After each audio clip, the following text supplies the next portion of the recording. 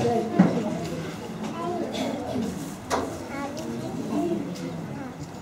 did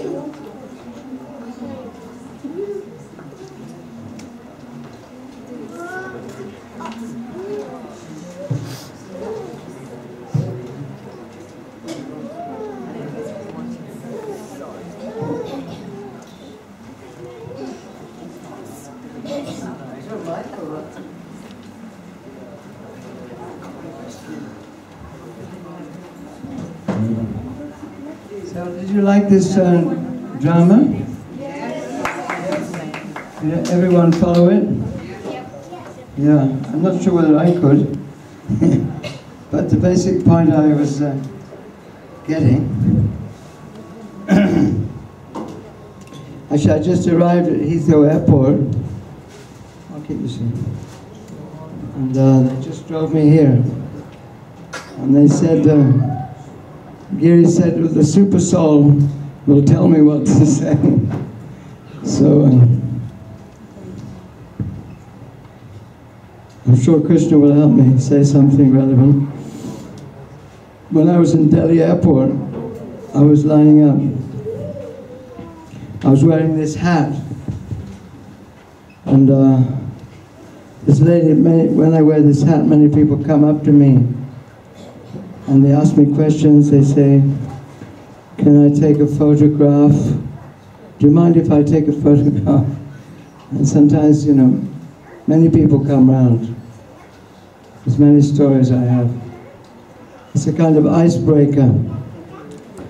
But uh, even when I was in Dubai airport, Terminal 3, a whole group of Iranian people came round asking about what are all these figures on the side.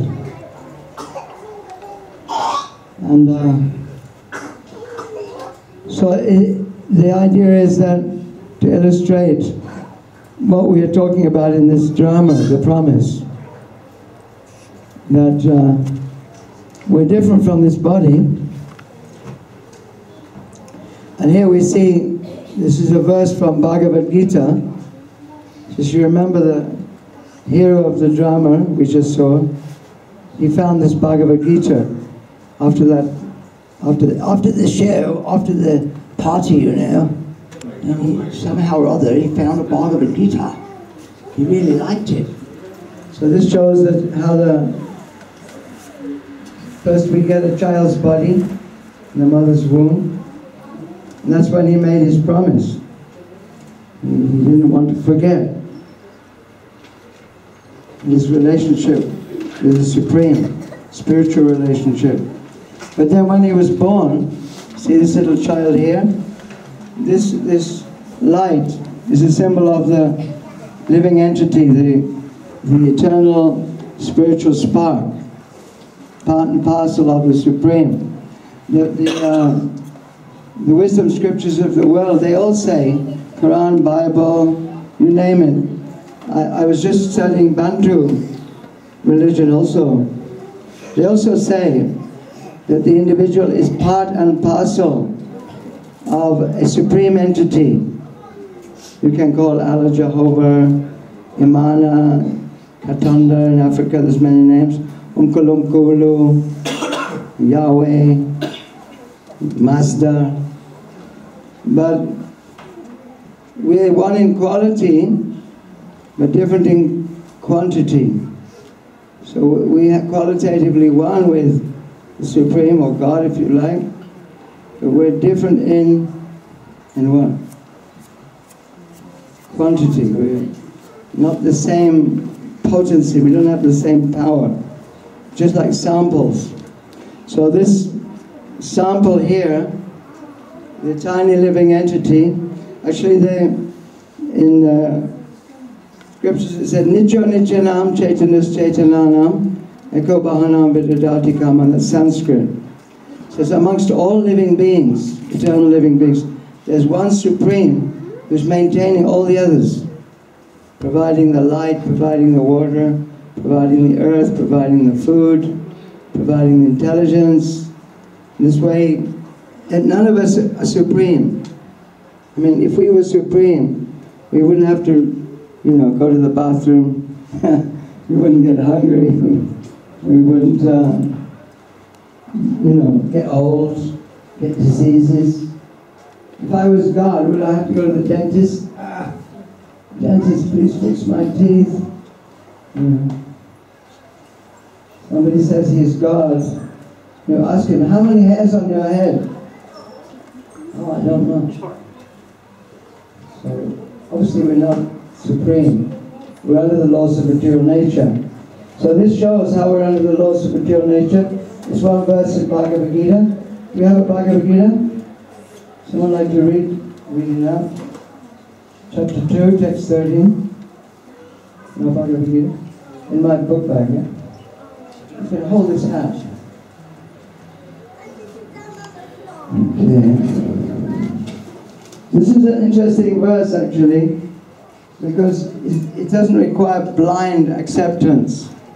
It's an example of how the Vedic knowledge is practical and we can see for ourselves whether it's uh, true or not. It combines this revelation with experiment. In this material world, generally we accept knowledge by experimentation, hypothesis and theory, practical and so on. Uh, or else we have to rely on revelation. We hear from our mother, this is your father. This is descending knowledge. Two kinds of knowledge, ascending knowledge and descending knowledge. Ascending knowledge means by experiment, by observation, uh, hypothesis, and so on. Descending knowledge means revelation. We hear from our mother, who is my father? This is your father. So we, we can't experiment about that. So this verse combines both. So um, our spiritual master Prabhupada emphasized this verse very much. Very useful for us. You can repeat. Om Namo Bhagavate Vasudevaya. This is an invocation for the spiritual energy. Om Namo Bhagavate Vasudevaya. Om Namo Bhagavate Vasudevaya. As the embodied soul, oh, this is a Sanskrit. Dehinosmin yata dehe. Komaram yovanam jara. Tata dehantara praptir.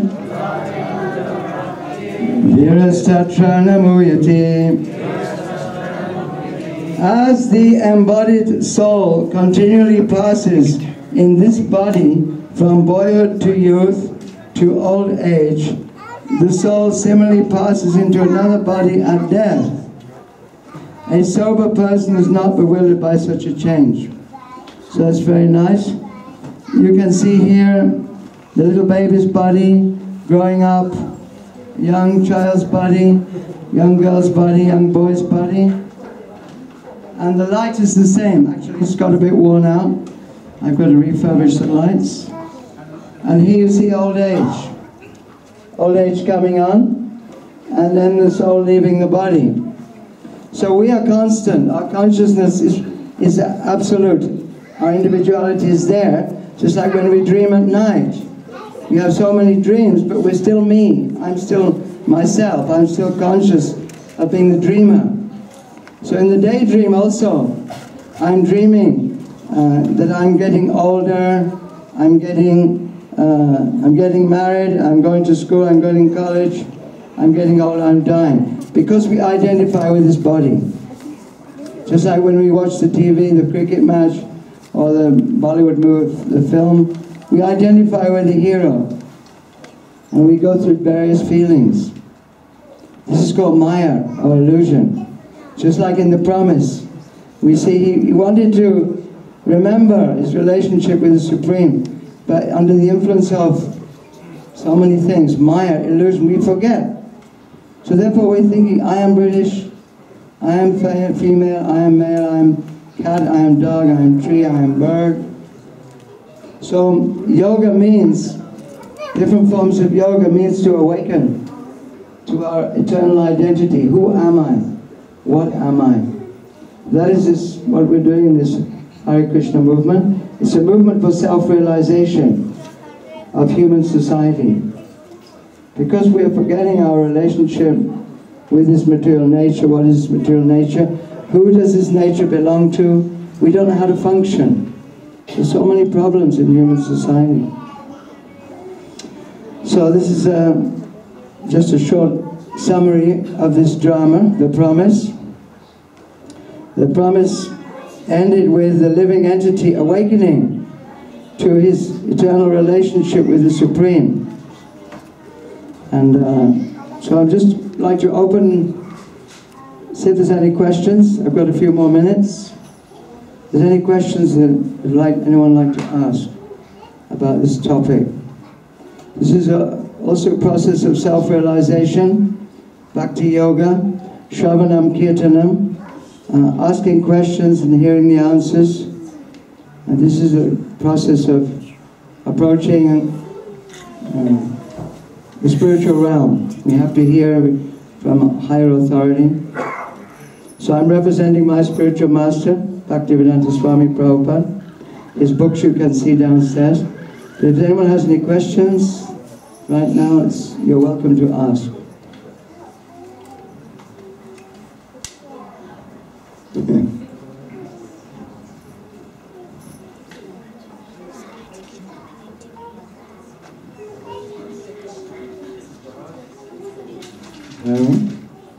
Yes. And any visitors, any visitors' questions? Any new, how many newcomers here today? Yeah? Oh, that's great. Any of the newcomers like to ask questions? There's a lot of in-house wallahs here. Hare Krishna devotees have come. And they have their questions. Hi, Boo. How are you? Any questions? Oh, you got a question? Yeah. What's your question? What's this coming up?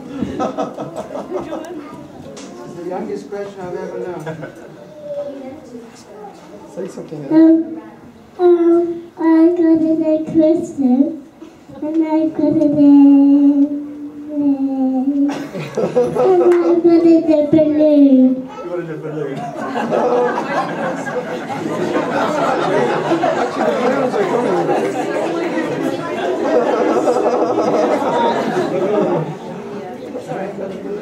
Um, I'll a balloon outfit. there's a balloon.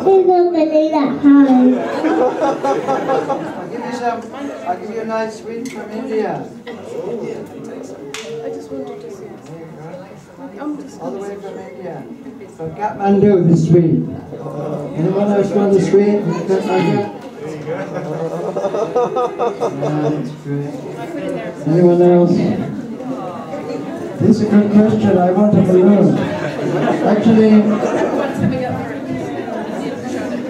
this balloon, balloon of Maya, is carrying us lifetime after lifetime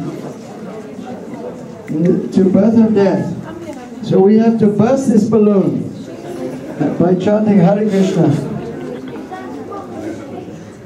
Okay, next question, please. I think this was a good answer, Bashar. oh, thank you. Okay. Okay. That was a good answer. Krishna Prasadam, food offered to Krishna, is the answer to many questions. Well, I have a question. Yes, please. Yeah, uh, we all know that we go through the process of reincarnation, right?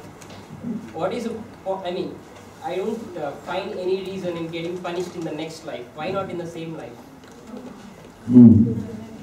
He doesn't see any reason for pu- punishing in the next life. It's not fair. It's, Actually, if you follow, this Bhagavad Gita is saying that there's not a next life. Life is continuous.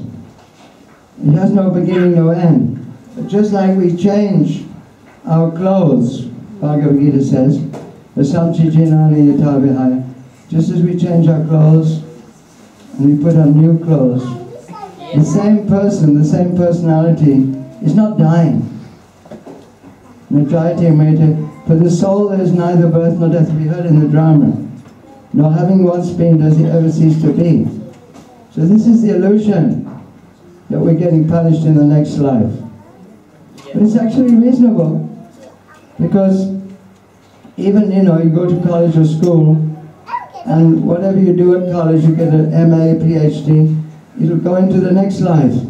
You'll get a good job, you'll get, you'll get plenty of money, a house, and so on. So it's a continuous, uh, one's life from childhood to youth is continuous, one consciousness is continuous.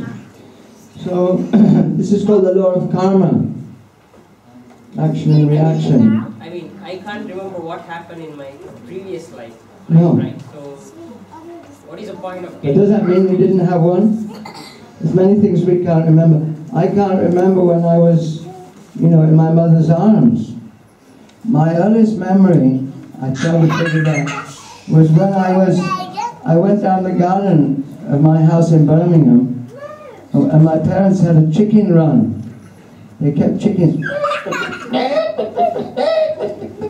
And I went and I climbed into the chicken run, and I sat on the rail with the chickens. And I thought, oh, these, thought these chickens are really nice people. They're better than the human beings. And then my parents said, where is, where's Nicky, where's Nicky? They were searching everywhere. They found me with the chickens. So that was my earliest memory. But I can't remember earlier than that. So how can I remember my previous life? You know, you can't remember what you were doing this time last week. Does that mean to say you weren't around last week?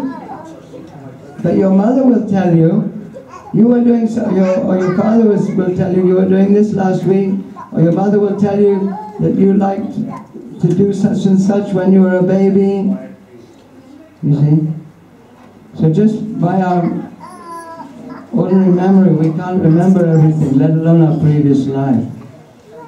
So we, this example is very good though in Bhagavad Gita. We've changed our bodies so many times, but we're still the same. Why when we change our body, when, when we leave this body, you see a dead body, there's no consciousness, right? You can kick it, you can cut it, a dead body, it's not going to complain. Because there's no life, there's no consciousness. And everyone's crying, they're saying, he's gone, he's gone, my father is gone. So where did he go? It means that the living entity within that body, the spiritron, the spiritual atom, according to Bhagavad Gita, there's a spiritual atom of consciousness. When that leaves the body, the body is dead. So that change continues into the next life. And that's good actually. If we're making spiritual progress, Bhagavad Gita says, we can continue in the next life.